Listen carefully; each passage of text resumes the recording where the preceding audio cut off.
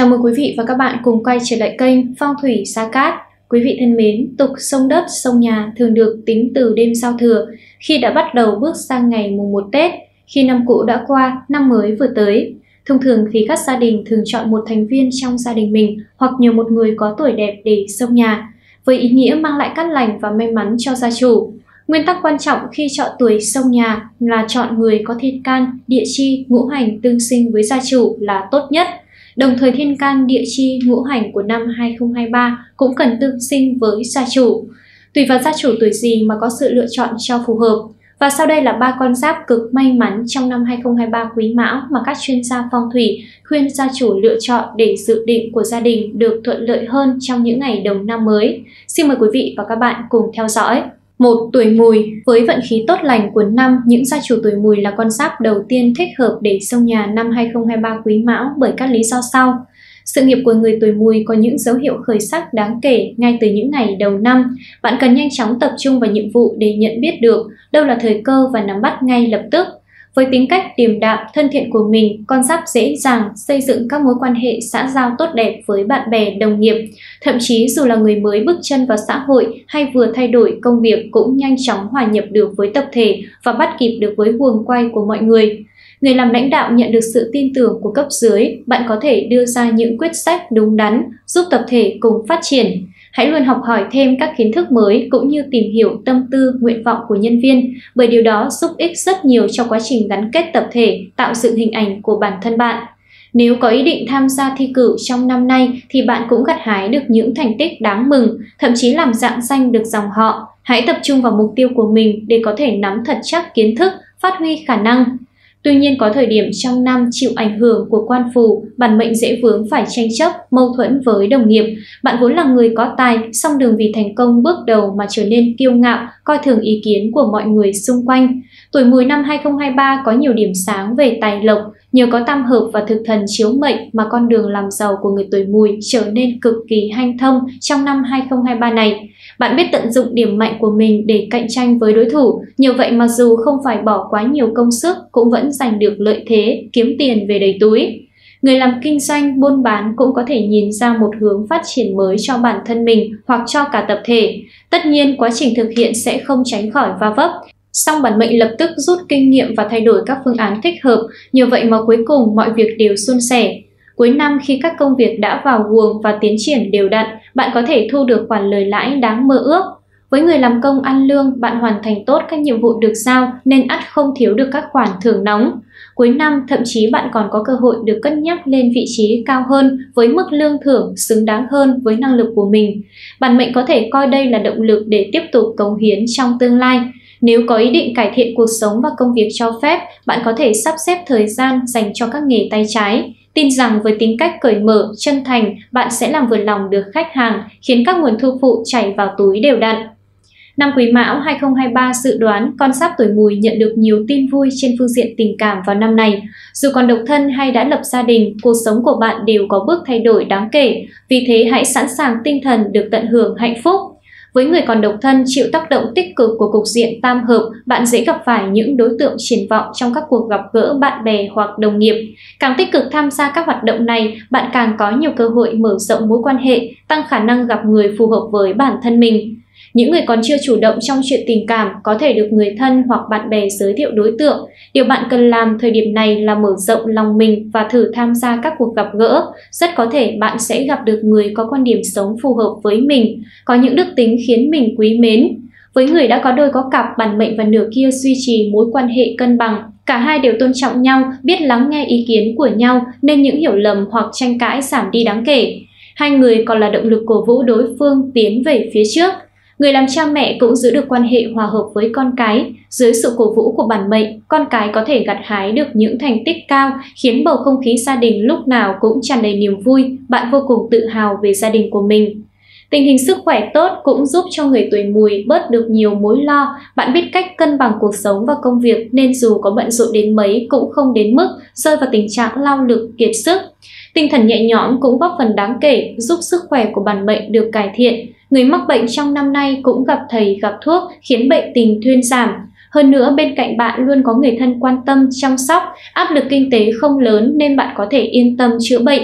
Dù ở độ tuổi nào, bản mệnh cũng nên chú ý đến việc rèn luyện thân thể. Hãy lựa chọn hình thức thể dục thể thao phù hợp với khả năng của bản thân. Vận động không chỉ giúp khỏe mạnh hơn mà còn khiến đầu óc tỉnh táo, tinh thần phấn chấn và các mối quan hệ được mở rộng. 2. Tuổi Tuất Như chúng ta đã biết, Tuổi Tuất năm 2023 được quan hệ lục hợp với Thái Tuế, từ đó vận trình của họ cũng hanh thông thuận lợi với cát khí của những gia chủ tuổi Tuất khi được chọn làm tuổi sông nhà cũng giúp cho gia chủ hanh thông may mắn. Xin mời quý vị tiếp tục theo dõi. Con đường công danh sự nghiệp của người tuổi Tuất hanh thông, bạn bắt tay vào công việc gì cũng được thuận lợi, cũng được người giúp. Vì thế, nếu có kế hoạch thực hiện việc gì thì nên tranh thủ bắt đầu ngay trong năm nay để không bỏ lỡ thời cơ tốt. Năm 2023 này, bản mệnh có nhiều cơ hội gặp gỡ những người bạn bè, đồng nghiệp tốt, dù vừa bước chân vào một môi trường mới cũng nhận được nhiều sự giúp đỡ, không bị bỡ ngỡ bơ vơ. Những người giàu kinh nghiệm sẵn sàng đưa ra cho bạn những lời khuyên hữu ích để bạn có thể vượt qua khó khăn.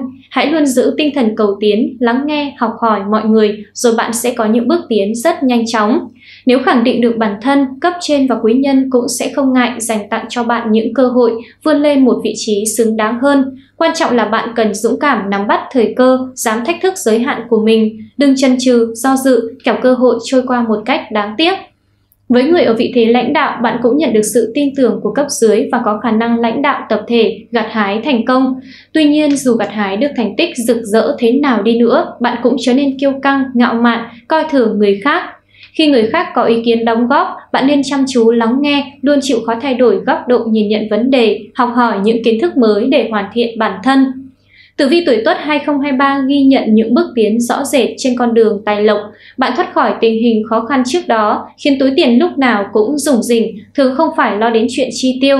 Người làm ăn tìm được chỗ đứng trên thị trường nên số lượng khách hàng, đối tác muốn hợp tác với bạn ngày một gia tăng cách ổn định.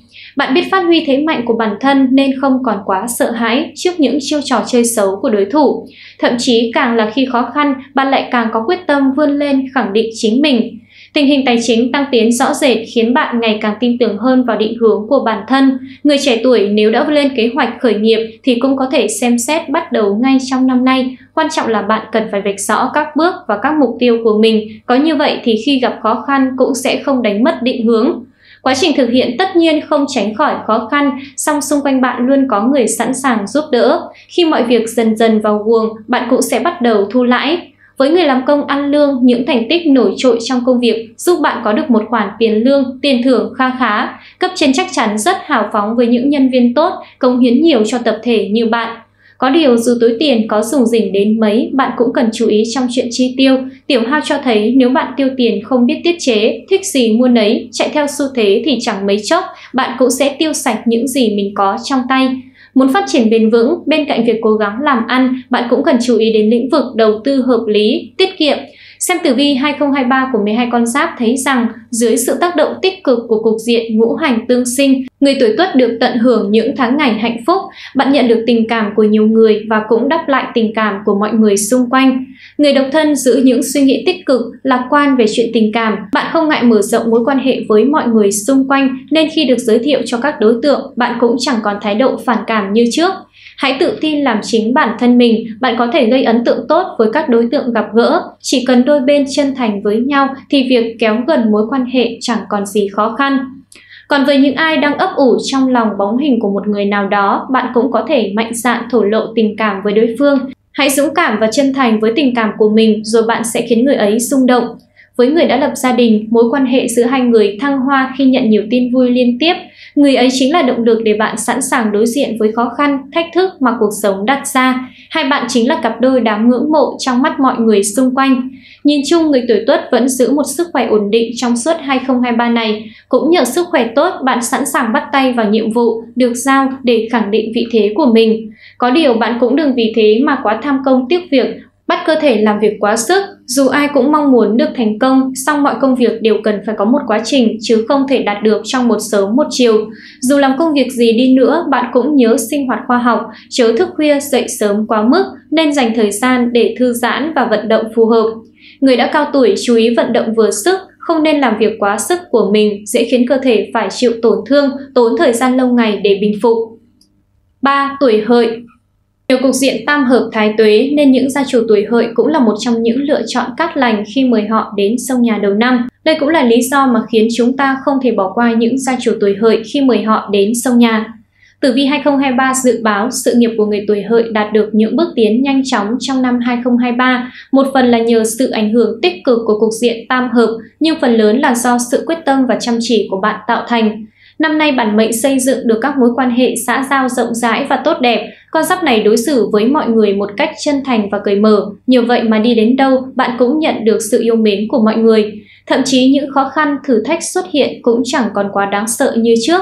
Đây cũng là thời điểm thích hợp để bản mệnh học thêm những lĩnh vực mới mẻ hoặc thử sức bản thân ở những nội dung công việc mới. Có thể quá trình khởi đầu của bạn sẽ gặp phải một vài khúc mắc, song chỉ cần bình tĩnh đối diện, bạn sẽ làm quen được và bắt vào guồng quay công việc vô cùng nhanh chóng. Với người làm lãnh đạo, bạn tin tưởng vào những quan điểm và định hướng của bản thân nên dẫn dắt tập thể làm theo ý của mình. Sự quyết đoán của bản mệnh giúp tập thể có những bước phát triển thuận lợi, thậm chí là những người dẫn đầu trong một xu hướng nào đó. Tất nhiên trong năm không chỉ toàn những điều thuận lợi, ngũ quỷ và kiếp tài ẩn tàng là dấu hiệu cho thấy quanh bạn có những kẻ hẹp hòi, đố kỵ với những thành công mà bạn gặt hái được, từ đó kiếm cớ gây chuyện làm hạ thấp uy tín của bạn. Điều con giáp này cần làm là bình tĩnh ứng phó, chớ nên để cảm xúc tiêu cực kiểm soát hành động của mình. Người tuổi hợi có thể chuẩn bị tinh thần để đón nhận tin vui trong vận trình tài lộc năm 2023. Do có cục diện tam hợp giúp sức, bạn sẽ tìm được nhiều cơ hội để thể hiện bản thân mình, từ đó thu được những kết quả xứng đáng. Với người làm công ăn lương, những thành tích liên tiếp trong sự nghiệp giúp bạn luôn nhận được những khoản thưởng hậu hĩnh, thậm chí có những người còn được đề xuất thăng chức, tăng lương, giúp nguồn tiền ngày càng trở nên vững vàng hơn.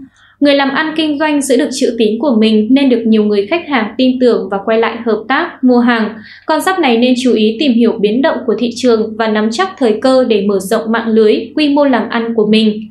Có thể thấy rằng để kiếm được một khoản tiền kha khá, bản mệnh cũng sẽ phải khá vất vả, song vì bạn luôn có động lực nên chẳng ngại khó khăn. Một vài người quyết đoán còn có thể trở thành người lãnh đạo, người dẫn đầu trào lưu, khiến đồng tiền đổ về túi nhanh chóng hơn hẳn mọi người. Tuy nhiên, dù làm ăn thuận lợi thế nào, bản mệnh cũng cần phải luôn chú ý đến tác động xấu của hung tinh ngũ quỷ. Có thể kẻ xấu đang ngấm ngầm tìm cách hãm hại bạn nhân lúc bạn sơ suất, thiếu tập trung. Vì vậy, khi ký kết hợp đồng, giấy tờ, bạn cần kiểm tra kỹ các thông tin để tránh mắc rắc rối về sau. Ngoài ra, con giáp này cũng cần chú ý giữ gìn sức khỏe, chớ lao động quá sức hoặc vi phạm luật giao thông, kẻo dễ gây tổn hại cho cơ thể, vừa tốn thêm tiền thuốc men chạy chữa.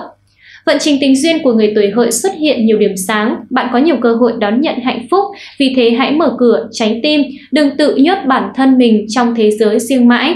Với người độc thân, ngũ hành tương sinh giúp con giáp có những suy nghĩ cởi mở và lạc quan hơn về chuyện tình cảm.